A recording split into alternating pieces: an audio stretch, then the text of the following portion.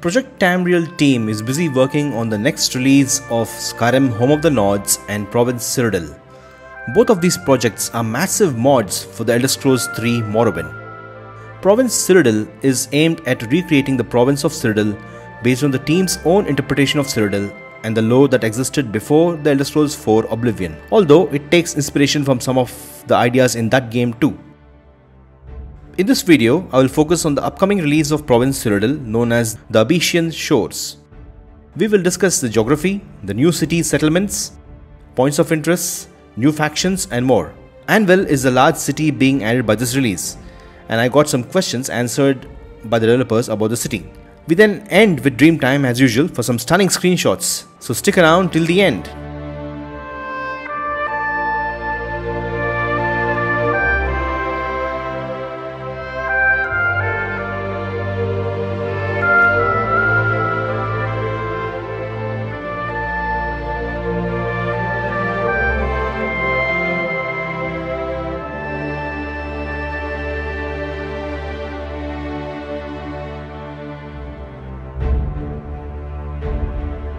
The Abecean Shores release covers the Kingdom of Anvil in its entirety.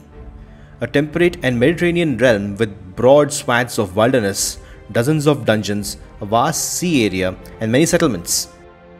The largest of these is the city of Anvil itself, a powerful and prosperous port city known for its beautiful temples, thriving markets, and bustling harbour. The kingdom also includes the dusty caravan town of Brina Cross, a picturesque island town called Charach, and several villages that dot the Strident Coast region. In addition to the mainland, a large portion of the Abecean Sea will be included in the release. These offer many islands and underwater adventures for any explorer brave enough to dive in. This is the large area of the release and will contain many settlements. As you can see, all the orange colored settlements are controlled by the Kingdom of the Anvil. Talking about the kingdom, it will have its own king and queen and has nothing to do with the count or the countess we saw in Oblivion.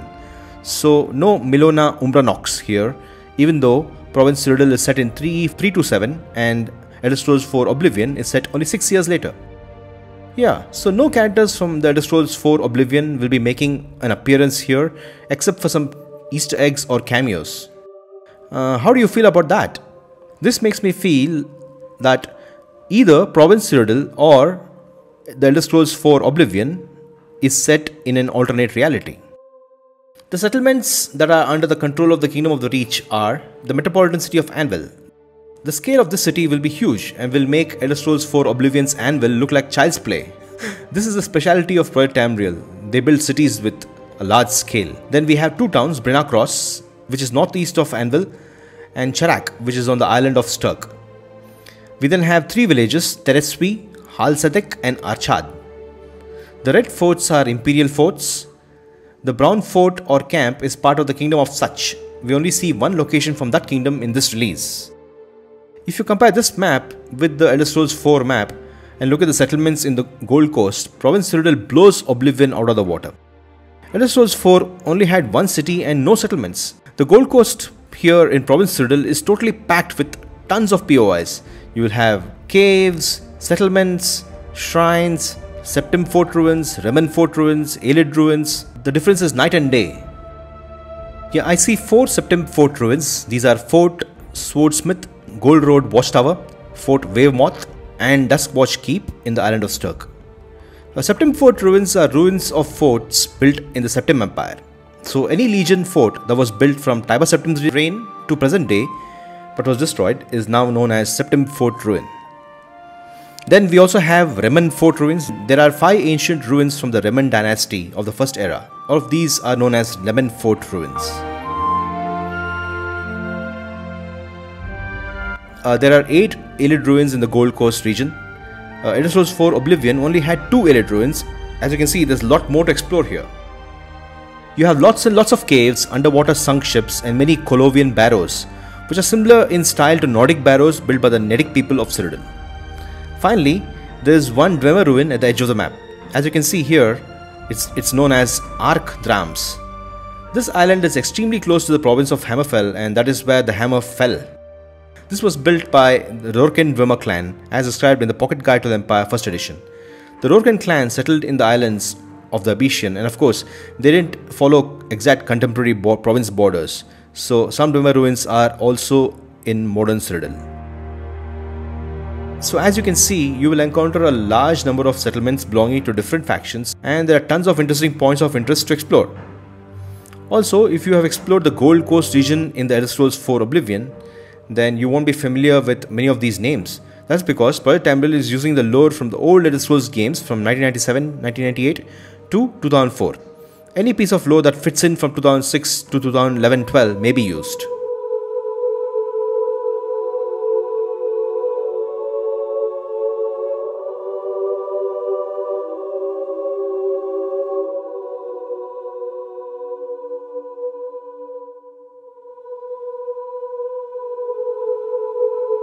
Oh, Anvil City. So here are some interesting insights about this city from the Project Tamriel developers. So I had some questions and they were kind enough to answer them. So let's start. How would one describe the architecture of Anvil? The city proper evokes northern Mediterranean vibes. House walls are adorned with vivid frescoes and murals, showing that Anvil is the center of art. The docks are filled with ships of all kinds, some of them uh, have never been seen in mods before. On both sides, Anvil is guarded by strong imperial fortifications, Fort Teledrag to the north and Goldstone Castle to the south. By looking at the map, the Kingdom of Anvil rules a large area of the Gold Coast region. Who is the current king or queen? And do we have any information on the brief history of the kingdom up to 3E427? What were your references? The name of the region in our version of Cyrodiil is Strident Coast. The kingdom is ruled by Queen Regent Milona Canamoris. Since the disappearance of her husband, some of the local merchant nobility has become displeased with her rule, which they see as illegitimate. Thus, there were some attempts to overthrow her. Milona is trying hard to win support of the local population and the player might play a crucial role in that. As for references, uh, basic characters in play were prescribed by TES4, but after the team has moved on from prequelism, their stories were revised and enhanced with in-house ideas. The inspiration was drawn also from historical sources and classic fiction of real world. Will the Imperials have a presence in Anvil City? The Imperials will definitely have a presence in Anvil City, because it's their city from ground up. It was founded and inhabited by Imperials for millennia. But two other races have a significant influence here as well. The Redguards from Hammerfell and the Wood Elf diaspora from the south. Tell us about the Abecean Trading Company. They have a building in the city and uh, what is its function? The Abecean Trading Company is the biggest enterprise in the Abecean Sea region. Thus, its building will be the most impressive in view of its concurrence. A bespoke mesh was created to make this building unique and imposing. Can players take a boat from Anvil to Charach and even from Anvil to Skingrad in the future?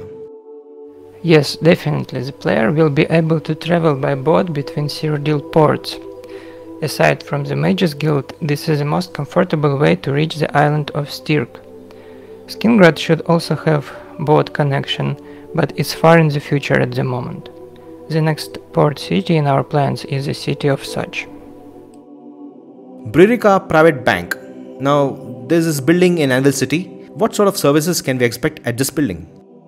Bririca Bank will function pretty much like its counterpart in Old Ebonheart, Tamriel Rebuilt you should be able to deposit, loan or withdraw money, as well as do some quest interactions that involve the bank. Robbing the bank is of course an option too. Anvil Imperial Geographical Society. They have a presence in Anvil. Can you share what they're all about and what do they offer for the player? The Geographical Society is a flavor faction, means you can't officially join it. Uh, that shows how the Empire explores and catalogs the world. Currently, it works on the next edition of the Pocket Guide to the Empire.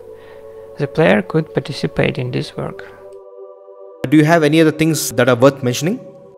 Other things worth mentioning. Great care was taken to make the sea part of the release an interesting place to explore.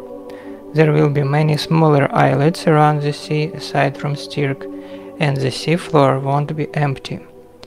Goblin Wars is a considerable theme of this release. And speaking of settlements, Anvil won't be the only settlement of the mainland, of course, but there will be half a dozen more settlements in the kingdom.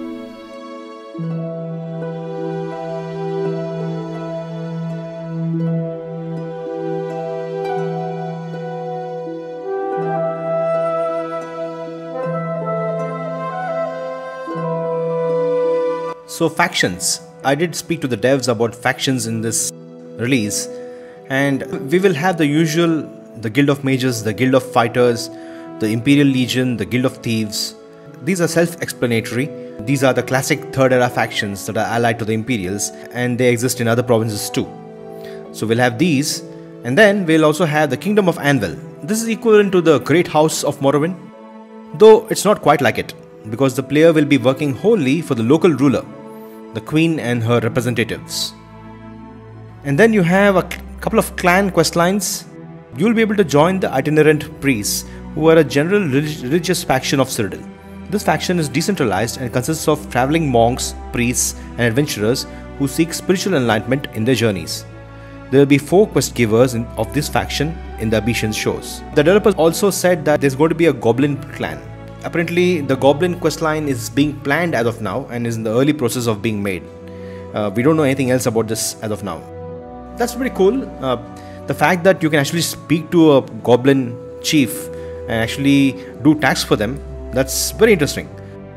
Unfortunately in Elder Scrolls 4 Oblivion they were just made as generic enemies for the player to kill.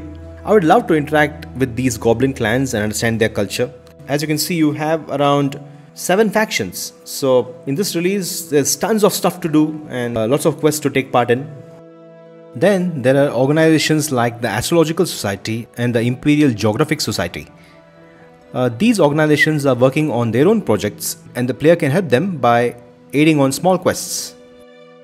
So as you can see you have around 7 factions and a couple of mini factions. So the Abecean show's release will have a lot to offer for the player. Alright, we have come to the end of this month's episode of Project Tamriel. So I would love to read your thoughts on Project Tamriel and the team's vision for the Gold Coast region or the Strident Coast as I call it here. Do share your comments below. And now, as usual, we'll move on to Dream Time. May the Divines be with you.